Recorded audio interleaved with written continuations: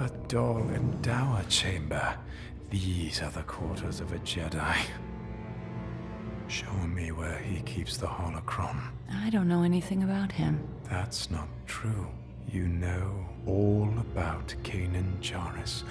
Or should I use his real name? Caleb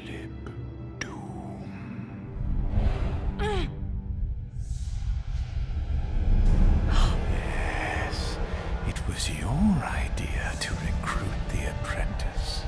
And it was from here that the boy found. No. He stole the holocron.